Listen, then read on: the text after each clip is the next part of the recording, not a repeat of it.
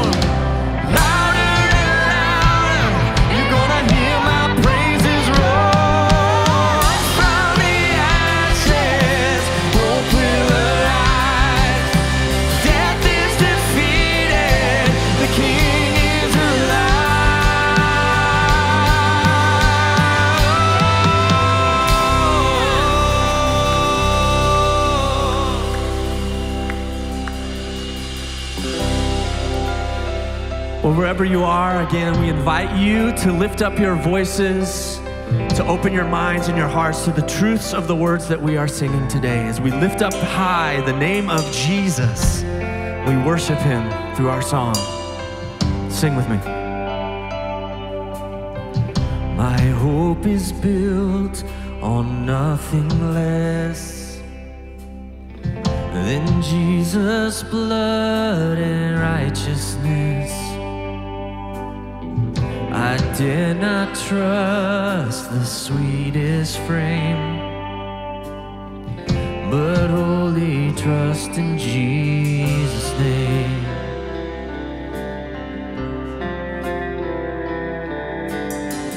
My hope is built on nothing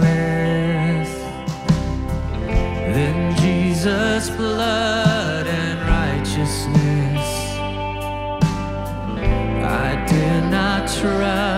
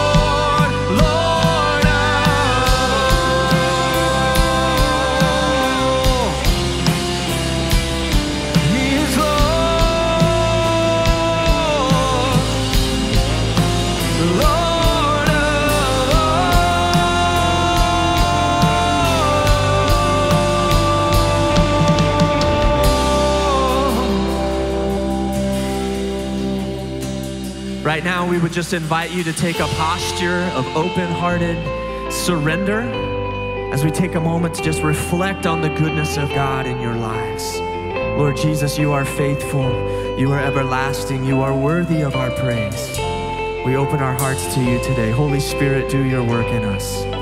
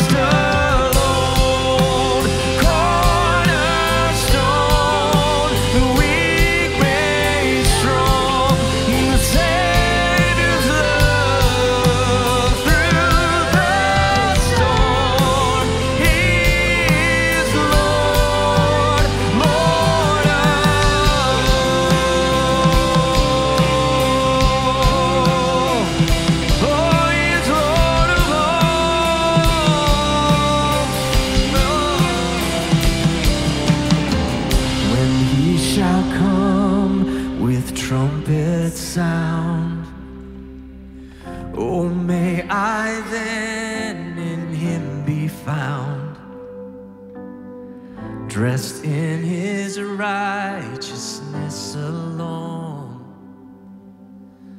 faultless to stand before the throne. dressed in his righteousness alone, faultless to stand before the throne. Amen. Amen. Some of you have reached out to me and asked me how the choir and orchestra are doing. They're doing well. Matter of fact, they, uh, they're on the sideline for the time being, but they just finished up a project that you're going to experience here in just a few moments.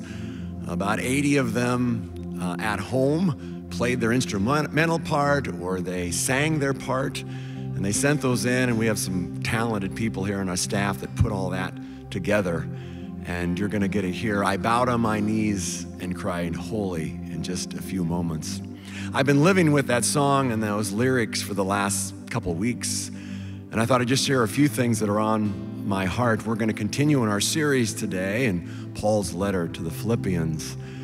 And I think a little bit the older I get, the more of an appreciation and respect I have for the Apostle Paul. He seemed to be able to narrow his focus, you know, just to embrace only the things that are eternal.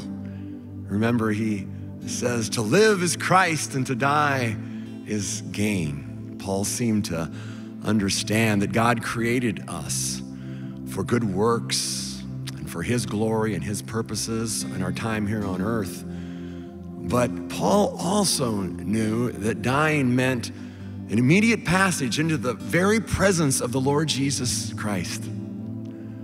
This next song, it, it speaks of someone who's taken their first step into heaven and they encounter their loved ones and they encounter the great patriarchs of the church. But it seems like they graciously ask all those folks to step aside and they say boldly and loudly, I want to see Jesus. I want to see Jesus because he's the one who died for me.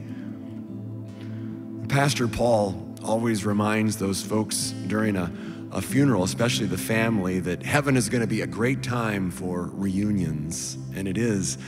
But I think mostly we're going to be occupied with worshiping Jesus and enjoying the wonders of heaven.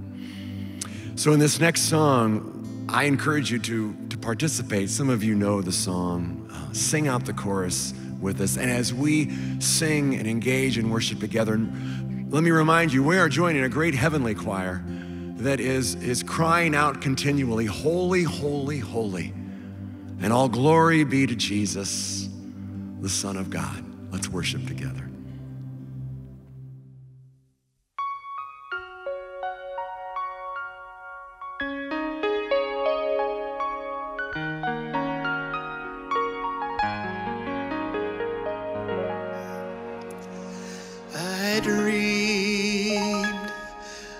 City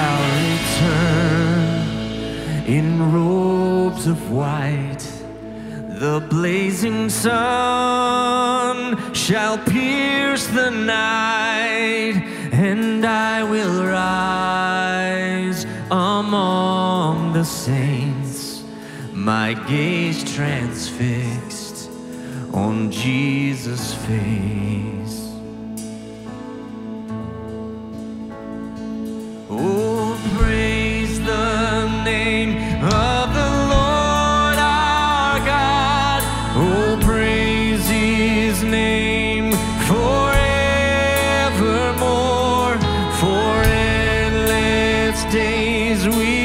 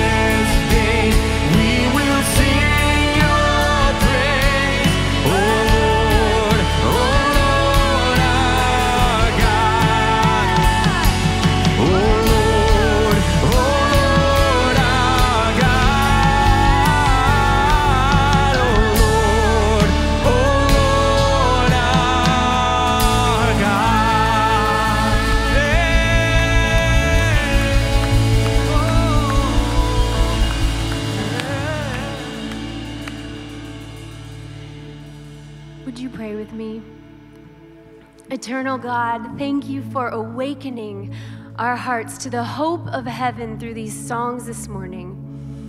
And my prayer is that we would be a people not just waiting on heaven, but actively participating with you in bringing heaven to earth by doing the next right thing. I pray, God, that our eyes would be transfixed on the face of Jesus right now by choosing to see Christ in all of creation and in every body that bears your image, especially those bodies that are different from our own. And God, would you reveal to us individually and also collectively as a church where we are resisting heaven on earth? so that your prayer can become our prayer. Thy kingdom come, thy will be done on earth as it is in heaven. In the name and essence of Jesus Christ our Lord. Amen. Amen. Amen. I, if the camera was like zoomed up any closer, you would like see the goosebumps on my arms from just the choir and then following it with that song. Uh, what a special So good. Thank you to everyone who was uh, a part of that, the vulnerability to sing in your living Right. room and send that in. And uh, yeah, I get to hear our choir and orchestra, which is just a pillar of Christ Community Church. And uh, miss seeing all your faces. Thanks again for those moments of worship. Hey, if you're somebody who's new, or maybe you just stumbled across this stream on Facebook because somebody shared it, hey, welcome. We're so excited to, to have you worshiping at home with us today. We'd love to just hear from you, connect with you, uh, not bombard you with a bunch of questions, but just hear about who you are and maybe connect you in a group or community. And so you can go to cccomaha.org slash connect, and uh, we'd love to, to get you connected here today. Yeah, and I'm Emily, and I work in our residency department. Our program is a two year program where our residents gain practical ministry experience while at the same time earning their master's in Crown College. And the purpose of the program is to raise up and equip next generation leaders for church ministry. Um, it's just been so fun to see the church come alongside us and support our residents. And we do have a couple practical ways that you can continue to help and serve. Uh, pray for our residents, continue praying. Um, this has been a crazy season, uh, so especially during this time, all the unknowns and transitions, uh, ministry changes. Yeah. If you would just keep them in your prayers, also for their support raising during this time. And we have a new cohort joining us, cohort four. We have eight residents coming August 3rd, and we are so excited for them to join. So, one specific need that we have is host homes for our new cohort. Uh, specifically, one for a married couple and two for singles. So, if that's something you've been thinking about or God has been pressing on your heart, please reach out to me. My info is right there. Shoot me an email, call the church. You can also check out more info on the website, or I'd love to meet up with you to tell you more. Yeah. Um, yeah, what it means to become a host. Yeah, and that's an awesome ministry that our church has had for decades. We we turned it into our residency program, but a little over a decade ago, I got to be a part of this two-year intentional discipleship. Uh, leader training in, in the church, and I'm so humbled and grateful for it. And I know my parents even were host home for a resident that Right. just graduated this last year, and they don't have some giant house, so it's not about having some giant house and having it all together. Just a spare room, a bathroom uh, that's spare for them to use, and it's a great way to invest into the next generation of church workers. And so Right. we'd love to invite you into that. We're so grateful for a church that does invest, a church that not just invests their time and their houses, but their treasure, their finances. We're so grateful for the way that you have invested uh, your financial gifts over over this last season. That's been difficult, Right. and and uh, and so we're grateful for those who have given. Uh, to the church. If you're somebody who maybe you've just been attending lately and, and you've gotten plugged into CCC and you want to give to what God is doing through uh, this local church, we'd invite you to go to cccomaha.org slash give, or you can text uh, or you can call that number if you need uh, more information of how you can do that. But we'd love to partner with you as we partner with the God of the universe who changes lives, who raises up the next generation of church leaders, uh, who also feeds people in Miami, like we talked about a little bit earlier, and even in our own inner city. And speaking of feeding people in our own inner city, we've been partnering with Mission Church, uh, our friend Myron and the people down there over uh, the last about 12 weeks to be providing meals, lunches, and suppers for families that just don't have the ability to get that. And I know there's school programs, but they're not even having the, the transportation to get to those drop off spots. And so part of this is people delivering these meals to homes. And you have been so gracious and generous as a church over the last few months, and we want to keep that up. You can go to cccomaha.org slash help. If you want information about what kind of food items to bring, you can bring them here to the church, or you can even sign up to deliver some of those meals on Monday mornings really early. And so thank you, church, and we want to just continue to, to invite you to, to donate and to support uh, our own city and, and, those people that need uh, to be uh, fed uh, physically so that we have the opportunity to feed them spiritually. So thank you so much again for your generosity. Well, in just a moment, we are going to hear a great message from Mark as he continues in the series through the book of Philippians. Let's pray. God, we just thank you so much that we can gather today to worship you together, whether virtually, Lord, or Facebook or website, Lord, but I just thank you that we have the means to do that, Lord. Um, would you speak to us, Lord? Uh, would you open our ears, open our hearts, our eyes to receive the message that you want us to hear today, Lord? Would you free us from distractions or any discouragement that we might be experiencing personally today? And um, give us your hope and your joy and remind us of your truth. Lord, I pray that your Holy Spirit would empower Pastor Mark. Lord, would you just speak through him your message to us, God? And we just thank you for him, Lord, and his leadership to us, especially during this time, Lord. In Jesus' name, amen. Amen. Amen. Amen. Thank you, Emily. Thank you, Alex. And uh, great to be with you all in your homes uh, as we worship the Lord together today. Uh, I want to just give a quick reflection on last Wednesday's worship and prayer night. Uh, some people have asked how that's gone, and all I can say is, wow. It was an amazing experience for us to be able to be gathered together uh, in Jesus' name and be worshiping together and be praying together. There were so many people who reflected afterwards when they came, they go, my soul just needed that so bad. And some like, I didn't realize how much I needed that human connection or that connection with God. And uh, it was such a powerful experience. Uh, hundreds of people combined here and online, and we're grateful for that. Uh, such a powerful experience. We've decided we're going to do it each of the next three Wednesday nights as well.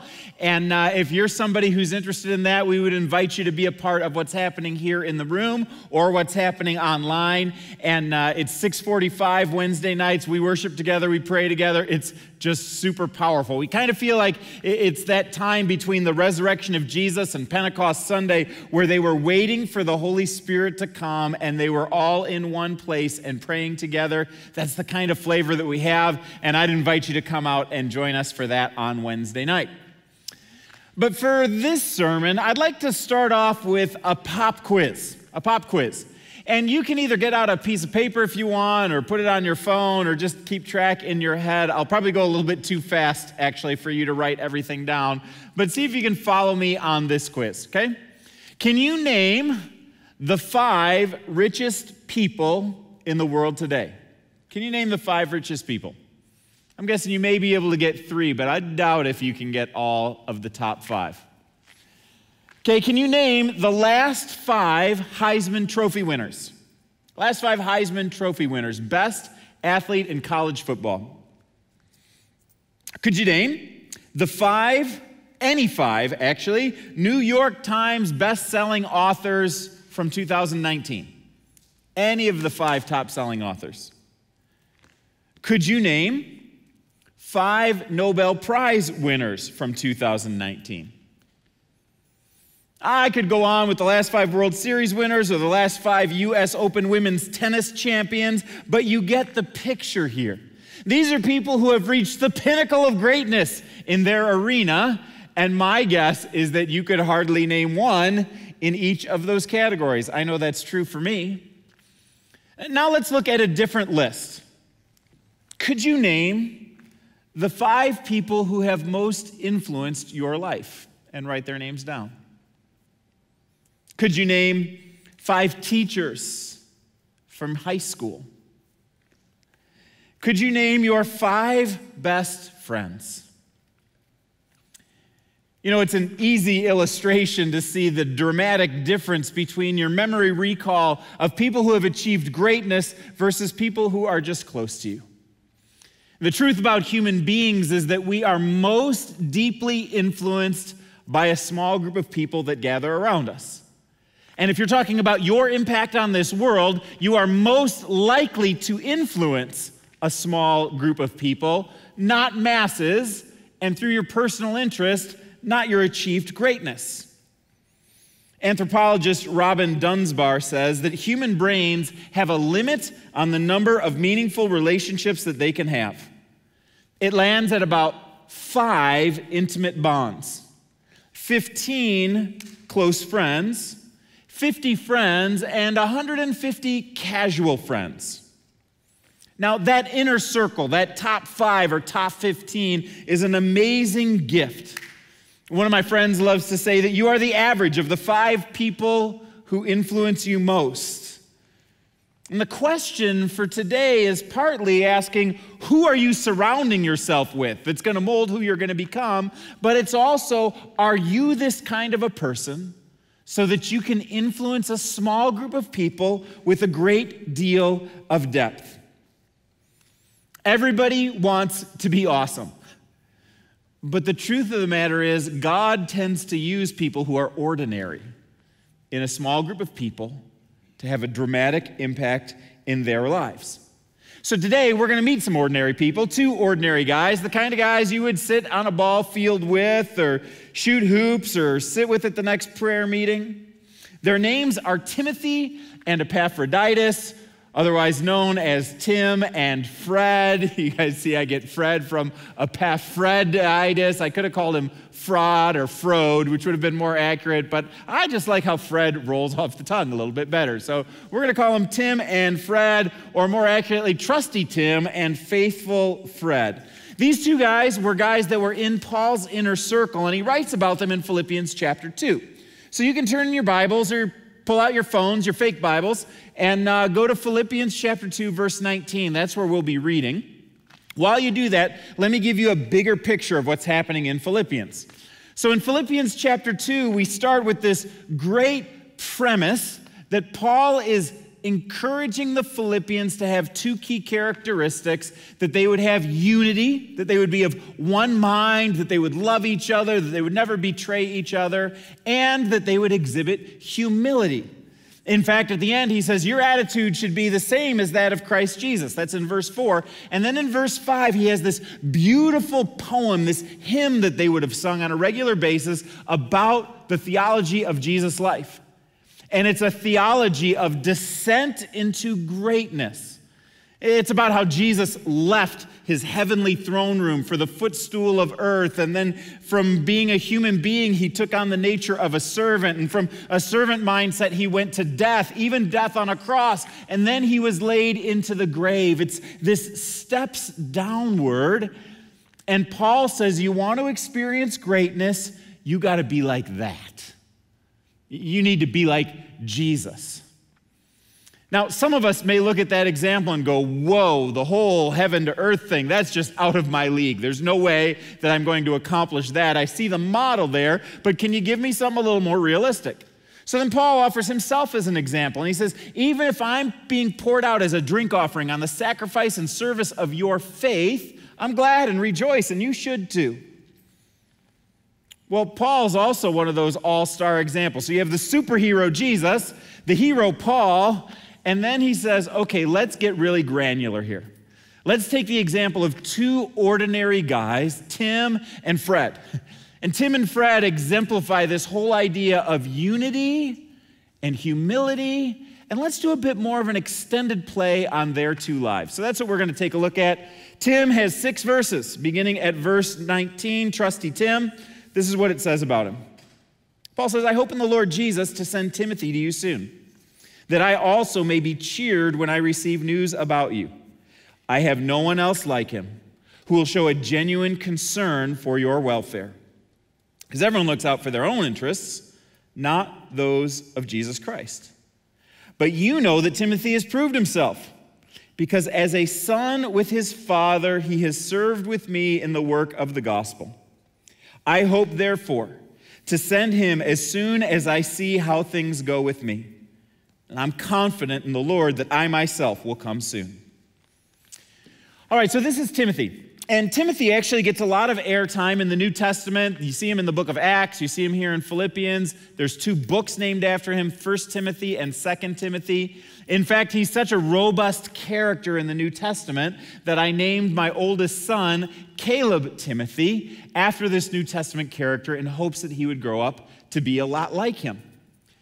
One of the things we know about Timothy is that Timothy was raised in a household with a mother and a grandmother. We, know that his father was Greek and his mother was Jewish, but besides that, we know nothing about his father. It's as if he's irrelevant to his life. And we don't know if dad died or just worked so hard or was gone all the time, but it seems as though there was no father figure in his life. Instead, we hear in 1st or 2nd Timothy chapter 1 about his mother Lois and his grandmother Eunice and the profound impact that they had on his life. Well, Paul's on his first missionary journey and he's going through Asia Minor. He goes past Ephesus and winds up in this small podunk town called Lystra. Now, Lystra was not a big city like Ephesus. It was the little city outside of the big city. It was like uh, Wahoo, Nebraska, or Red Oak, Iowa, an unimpressive stop. But Paul stops there and he plants a church. And as was his normal custom, he would talk to the Jewish people first, and who shows up at the meeting but Lois and Eunice. And Lois and Eunice are some of the first people to come to faith in Jesus. They lead their son Timothy to faith in Jesus, and then Paul moves on to the next city. Well, Paul came back later to Lystra on his second missionary journey, and what do you know? He finds that Lois and Eunice are still faithful to Jesus, and Timothy has grown impressively in his faith. So he says, Hey, Timothy, why don't you join me on this missionary journey? Wow, chance of a lifetime. Timothy gets to go with the Apostle Paul to proclaim, proclaim, the resurrection and start churches from city to city. So he says yes, and he goes with Paul. And this passage says that he worked with him as a son with his father.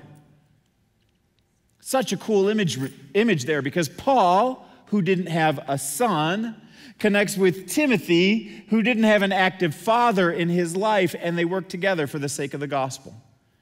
And just like a silversmith father might show his silversmith son the tools of the trade, or a farmer dad helps his farmer son to become a great farmer, so Paul helped Timothy to become a great leader and pastor. And he did become a pastor and eventually ended up as the bishop of Ephesus in his later years.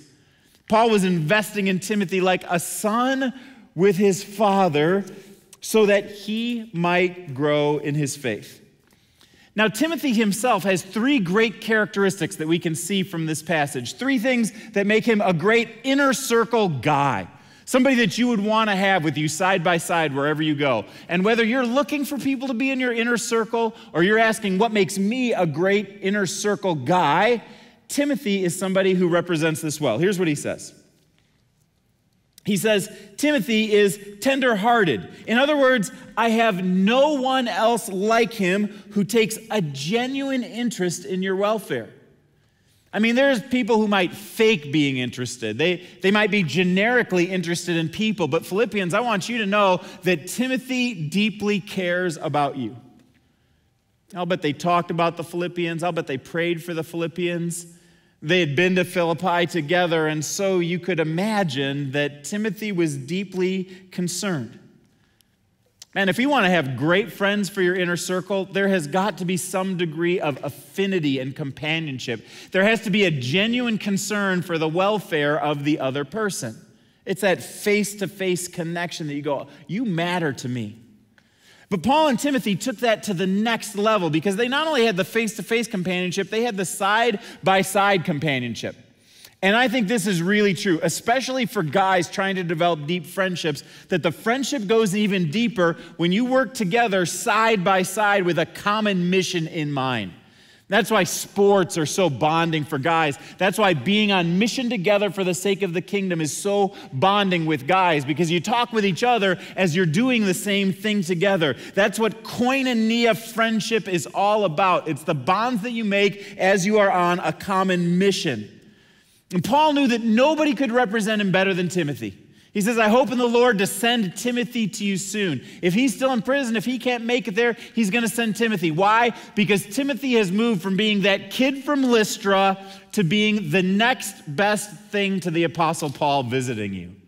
How's that for a mark of status in his life? He loves to serve, he loves the people, he's tenderhearted, he cares about you, so I'm sending him your way. Second thing about Timothy is that he was thoughtful. He was thoughtful. Paul says, most people look to their own interests, not those of Jesus Christ. But not Timothy. Timothy is a guy who's not interested in his own self, he is interested in the interests of Jesus Christ. You could say that he's thoughtful, or probably more accurate, it just fits the theme of the, pa- the passage that he is humble. He's humble. Now, humility is not thinking less of yourself, it's thinking of yourself less.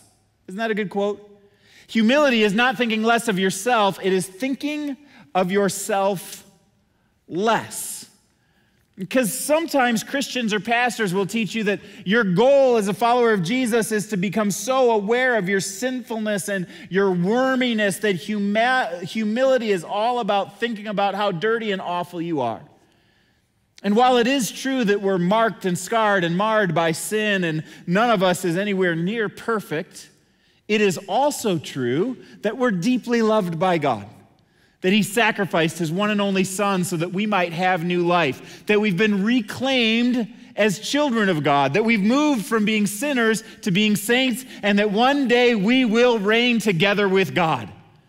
That is our new identity that we have in Jesus. But our goal is not to just sit back and brag about that. Our goal is not to become self aggrandized around that. It's simply to become self forgetful. Humility is all about thinking of yourself less, and like Timothy, putting the interests of Jesus Christ and, as you see in verse 2, the interests of others above your own interests. That's what it looks like. These are the kind of people you want to be, that you want to surround yourself with. Finally, the third characteristic of Timothy is that he was true. He was true. In other words, Timothy was loyal. Paul says, You know his proven character. As a son with his father, he worked with me. Timothy had been tested and proven over and over again. Because when Timothy and Paul left Lystra, Paul had a pattern that emerged. I don't know if it was his intentional strategy, but when you read about the adventures of Paul and Timothy in the book of Acts, you find this happening over and over again. So here's how it goes Paul comes into a new city. He preaches the gospel, usually to Jewish people first, and then he goes out to the marketplace, teaches the people there. Before too long, Paul's big mouth is getting him into trouble. He gets persecuted, he gets beat up, he gets thrown in jail, he gets kicked out of the city and has to go on to the next city. But here's what he does. While Paul moves on to the next city to do his recon work, Timothy stays in the old city. And Timothy is a little bit quieter. He's not quite as obnoxious or likely to get into trouble, but he knows his stuff because he's been listening to Paul for so long. So he stays behind and gathers together all of the people who Paul has led to faith in Jesus and begins to faithfully pass on the truth to them and disciple them with the same kind of information, but a different spin on his personality. I love that about Timothy. That's why Timothy has proven himself. He's been to city after city after city, and he's discipled people, including people right there in Philippi. And faithfulness leads to fruitfulness. When you just keep on doing the right thing, what you find is that over time, that bears fruit in the people who are around you, and it will give you rewards in heaven. Now, some of you are saying, man, this inner circle relationship with a mentor and a mentee, this father son thing, man, that is really cool. I would love to get involved with that. Maybe you're a young person who's looking for an older mentor. Maybe you're somebody who's older who says, I'd love to invest in somebody in their life. How do you go about doing that? Well, I'm going to talk to the younger people first. If, you're somebody who's a younger, peop- a younger person, you may say, Where do I even meet these kind of people? And I have to admit that it's challenging to do it in socially distanced online church. It's also challenging to do it when you've got a large worship center that's packed with people who are all facing the same direction. The truth is that the best way to be able to find somebody is to become a part of a journey group.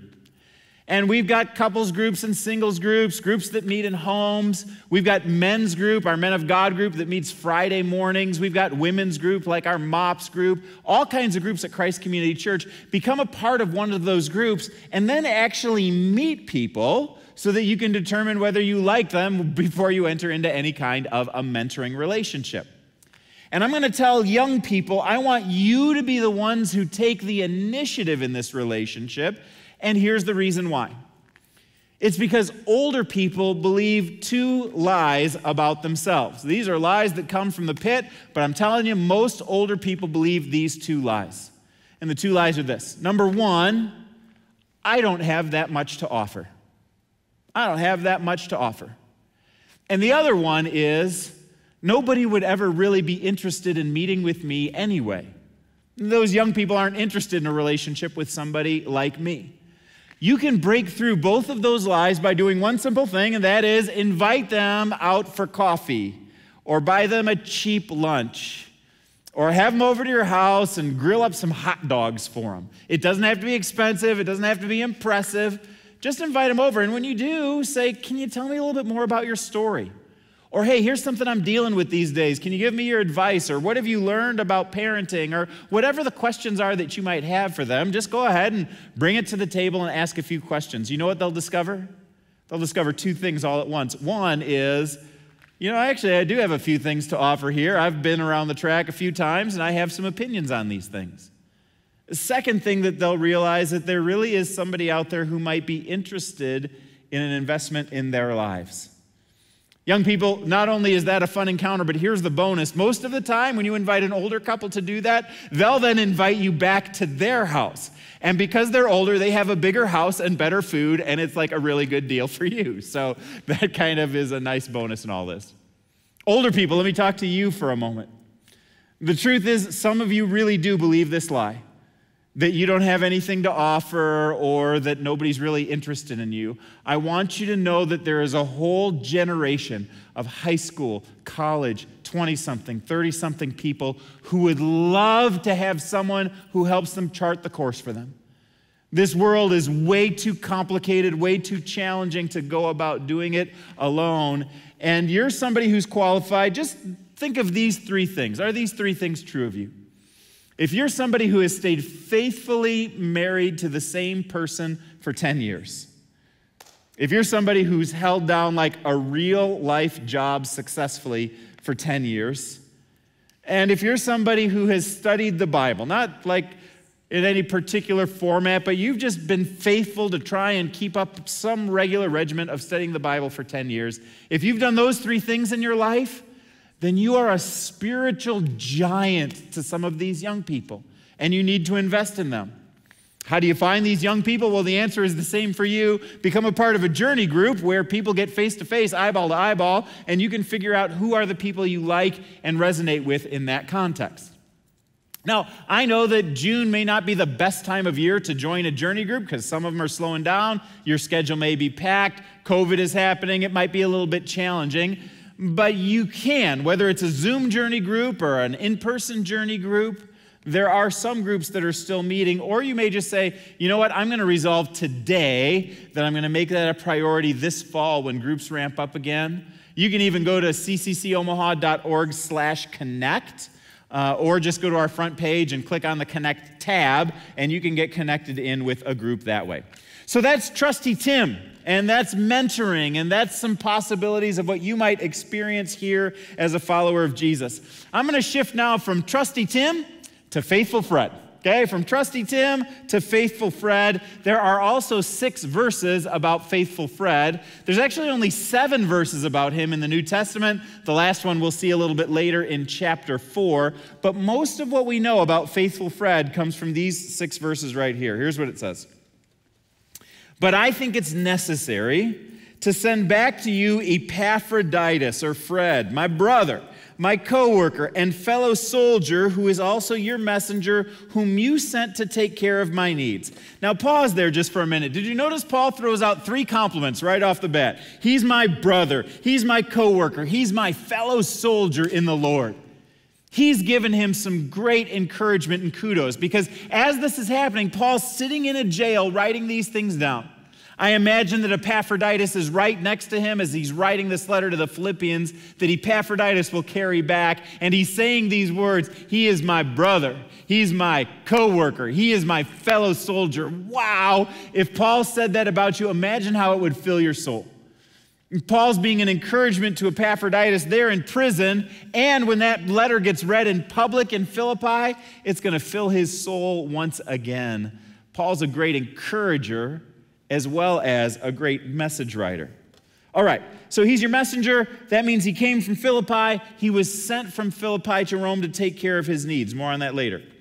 For he longs for all of you and is distressed because you heard that he was ill. Indeed, he was ill and he almost died. But God had mercy on him, and not only on him, but also on me to spare me sorrow upon sorrow.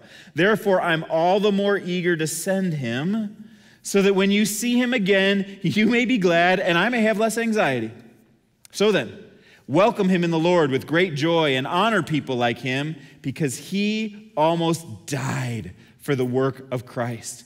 He risked his life to make up for the help that you yourselves could not give me. Well, from this passage, you can figure out what the backstory is here from Philippians chapter 4. Paul winds up getting thrown in jail, and they catch wind of it back in Philippi. And Lydia, who's leading the church at the time, would say something like, Hey, guys, Paul's in jail. He's going to need some finances. He's going to need some gifts in order to be able to survive in jail because that's how it worked. When people were in jail, they needed their friends to bring them stuff. She says, Let's take up a collection from the whole church and then we'll send it with somebody to Rome. Who will raise their hand to go to Rome? And it's faithful Fred raises his hand. He says, I'll take the gift to Paul in Rome, which meant a 600 mile journey on foot across Greece and Italy with a boat ride across the Adriatic Sea to get from where he was to get to Rome.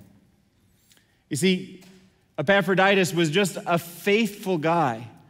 This was not a high profile role. This is not one for which you would get a lot of kudos and a lot of credits or a lot of applause. It was just doing the next right thing. And with every step that he took towards Rome, he did the next right thing as he was going from where he was to getting to Rome. Well, on the way, he risked a lot of things. He risked bandits and robbers and violence, and he risked illness, which actually struck him. And in the ancient world, it worked different than it does in the United States. Here in the United States, when somebody gets ill, we expect that they're going to get better.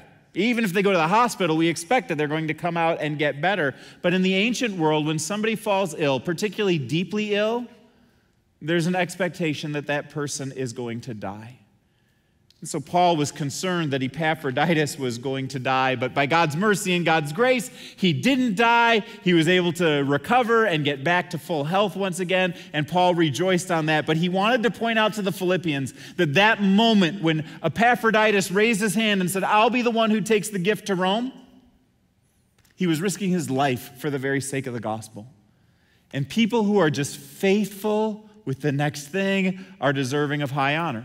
So that's one thing that he did. He delivered the gift. The other thing that Epaphroditus is known for is he took the message back to Philippi.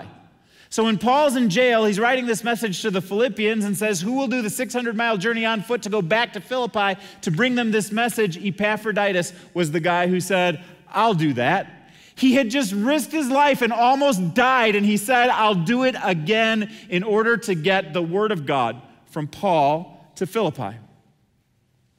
Now, he was just a faithful guy. He was just somebody who did the right next thing. But I want you to think about the ripple effect that Epaphroditus had on world history. I mean, you think about it. He brought this monetary gift to Paul that sustained him while he was in jail in Rome. We don't know if that made the difference of life or death for Paul, but everything that happened after Paul's life at this point could be credited towards that gift that was delivered by Epaphroditus. Besides that, Epaphroditus was the guy who took the letter back to Philippi, which means he probably was the guy who read it out loud in Philippi, and probably the guy who did question and answer when everybody asked, So, what did Paul mean by this? What did Paul mean by that? He was the first teacher of the book of Philippians, and we know that he was successful in delivering it because we have the book of Philippians to this day. In fact, that book that Epaphroditus carried, which would have been just a scroll at the time, has had a profound impact on world history. And his success in being faithful in just doing the next right thing has had an impact on your life and my life. We're studying it even to this day. Which leads me to an important main point. Just do the next right thing, and God will work out the big picture. We never know the ripple effects of our strong actions on a small group of people. Our intentionality with a small group can have a ripple effect across the world. Just do the next right thing, and God will work out the big picture. Somebody told me a little bit uh, between services that that's kind of a line from Frozen 2. I want you to know I had no idea. I got it from the Holy Spirit and not from Frozen 2 this week. But I hope it's something that you'll think about. In fact, between now and the end of the message, I hope you'll be considering what is the next right thing for you to do. And it'll be different for different people. The Spirit will guide you in that. Maybe your next right thing is to buy a pile of peanut butter and jelly sandwiches and or peanut butter and jelly and bring it to Christ Community Church so it can be distributed to kids that are food deprived right now during COVID-19.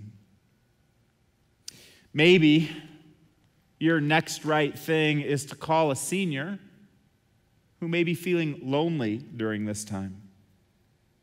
Maybe your next right thing is to tell an inspirational story to a coworker or share your excitement about Jesus with them. Maybe your next right thing is to house a resident. That God's tapping on your shoulder to do that thing. Maybe it's to write a thank you note to somebody who has been good to you. I know my next right thing that I'll be doing this afternoon, I was convicted by when I was preparing the message yesterday, is I've got some repair that needs to be done with a friend who I deeply love. And I'll be working on that this afternoon. Maybe your right next step is joining a journey group. Maybe your right next step is a really big deal thing, like God's inviting you to foster or adopt a child or God is inviting you to do some research into mass incarceration because that's just been brought up in you as you've watched all the racial tension in the last few days and you want to be a part of the solution. I don't know what it is, but I hope you'll invite God in to say, okay, God, what's my next right thing? Something I could do today.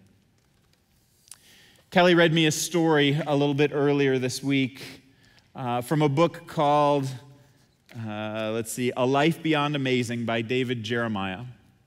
And it touched me so deeply that I thought I'd read it to you today the same way that she read it to me. It's about Lisa Fenn, a producer for ESPN, who just went about doing the next right thing. And God did something cool through her.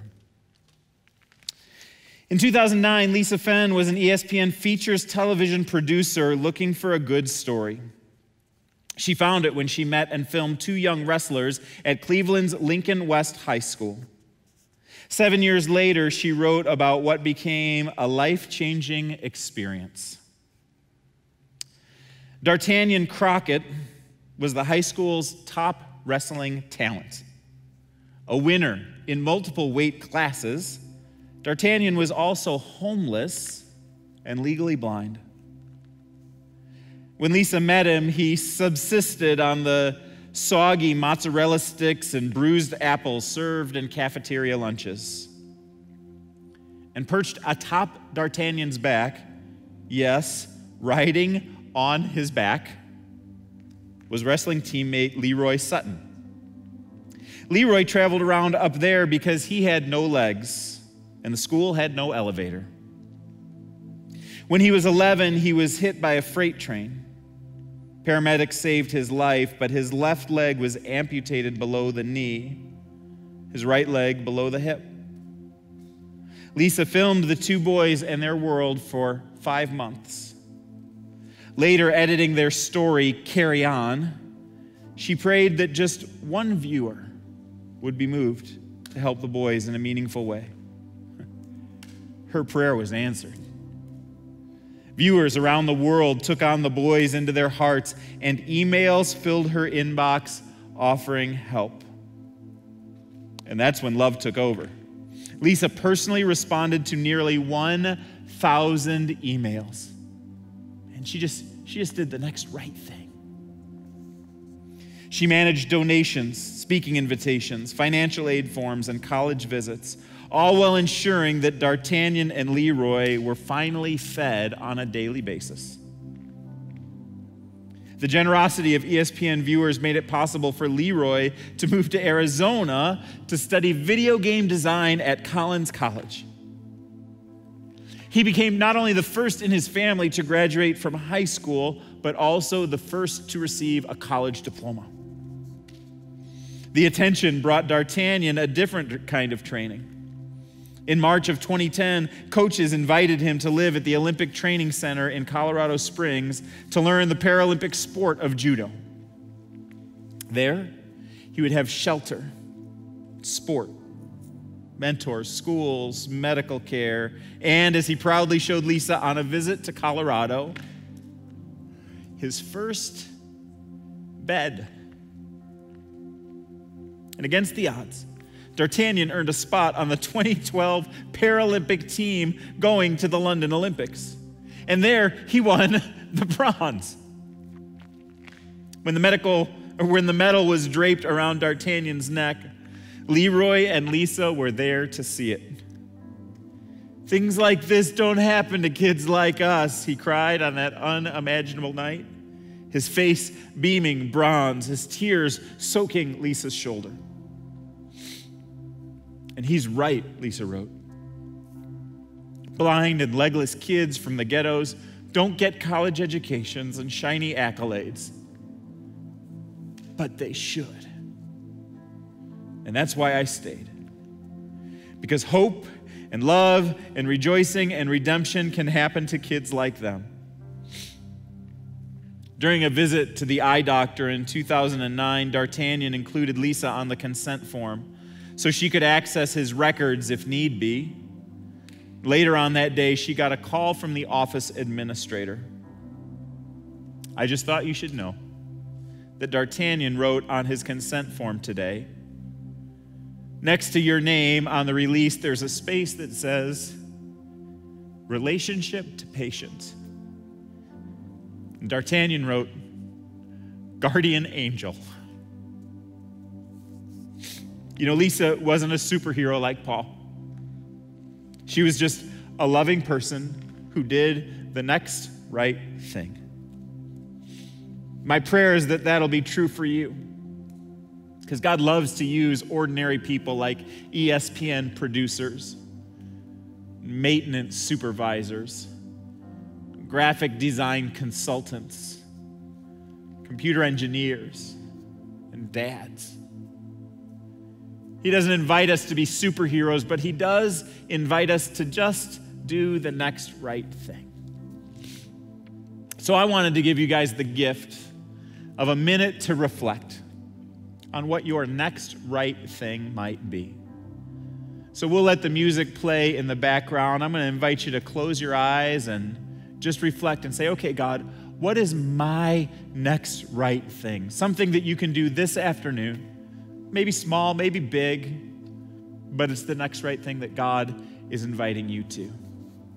So, would you bow your heads and take a few moments to reflect? Yield yourself to God and say, God, what is my next right thing?